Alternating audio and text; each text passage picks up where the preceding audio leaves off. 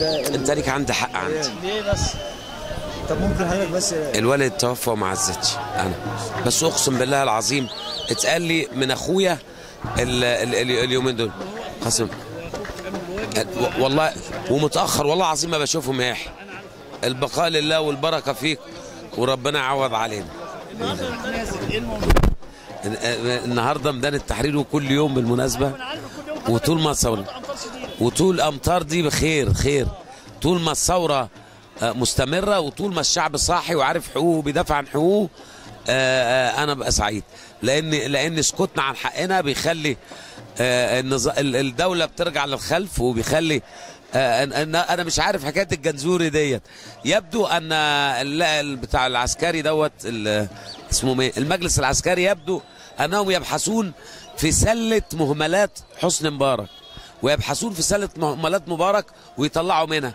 الجنزوني من سلة مهملات مبارك. أنا بعتبر إن حكومة شرف أفضل وأشرف من حكومة الجنزوري. أي حاجة فيها جنزوري ما جنزورش ده ما ينفعش.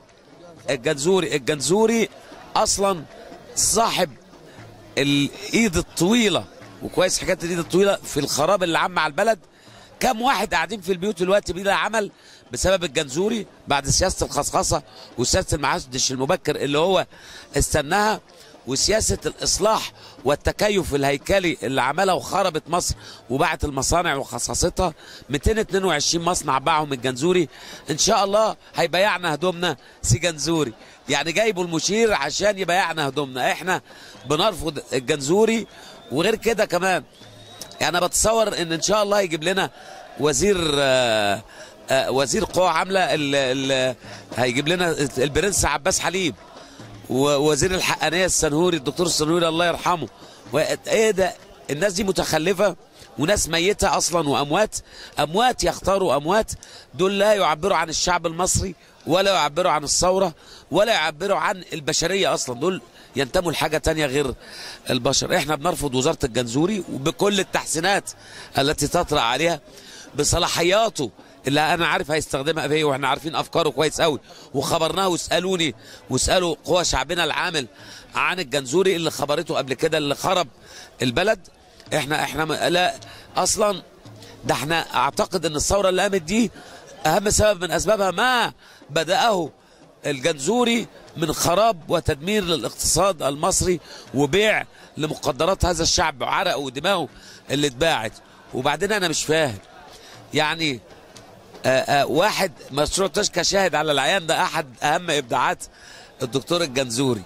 يعني واحد خاب خيبة هتناولوه التانية. الشعب المصري ومصر العظيمة مش مستحملة تجارب من النوع دوت.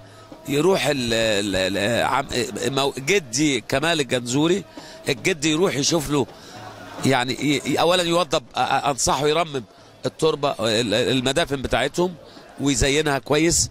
استعدادا للأجل القريب اللي ممكن يداهم أي واحد فينا وهو إن شاء الله أولهم.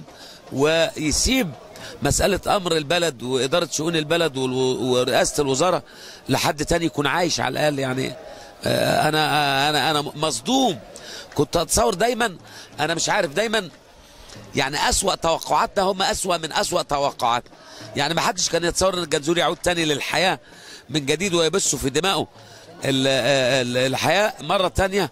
إحنا تصورنا إنه مات. ده بعض الناس لما بيسمعوا الجنزوري بيقول لك مش مات. لا صحوه تاني المجلس العسكري صحاه تاني والمشير صحاه تاني عشان يقود بلد قامت فيها ثورة وسقط فيها شهداء. يعني أرجو إن هم يحسوا على دمهم شوية. الخروج من المأزق إزاي؟ المأزق ولا جنزوري ولا غيره ولا أي واحد ينتمي للنظام السابق والجنزوري من فلول مش فلول النظام السابق ده مهندسين النظام السابق. مهندسين خراب مصر لا ما, ما ينفعوش يحكموا مصر. بس.